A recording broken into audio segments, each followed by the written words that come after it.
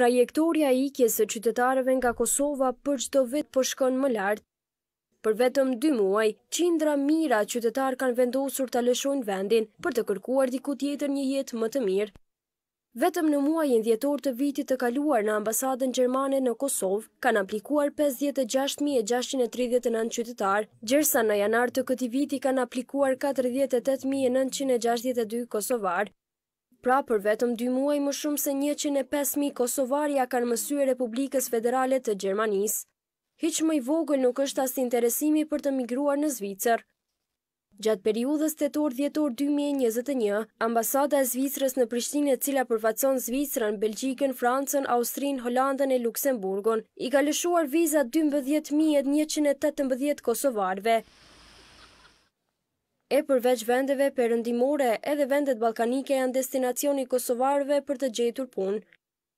Më dy mijë e njëzet, katër mijë e tetëqind e katër persona aplikuan në ambasadën e Kroacisë në Prishtinë, gjersa në vitin dy mijë e njëzet e një plot gjashtë mijë e dyqind e njëzet qytetarë. Në krahasim me vendet e tjera, interesimi për të punuar në Austri është më i vogël. Në dhjetor dy mijë e njëzet e një Austria lëshoi gjashtëdhjetë e një viza për punë sezonale për shtetasit kosovarë, derisa në janar dy mijë e njëzet e dy janë dhënë njëzet e katër viza për punë sezonale dhe dy viza për punë afatgjate.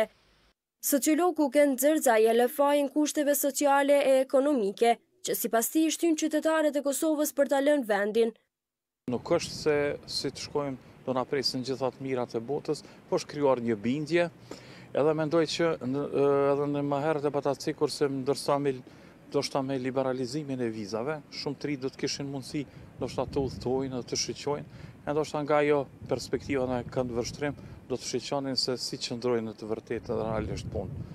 E sipas njohësit të çështjeve të ekonomisë Mustaf Kadrijaj, rritja e çmimeve të produkteve dhe mosrritja e pagës minimale qytetarëve të Kosovës nuk u lë zgjedhje tjetër përpos të marrin rrugën e mërgimit.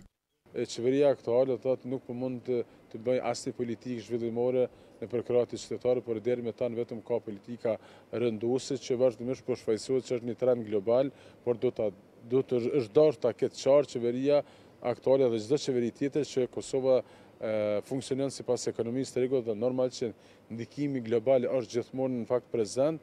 Sipas të dhënave të Agjencisë së Statistikave të Kosovës, më shumë se dyqind e njëzet mijë qytetarë të Kosovës kanë emigruar në dekadën e fundit.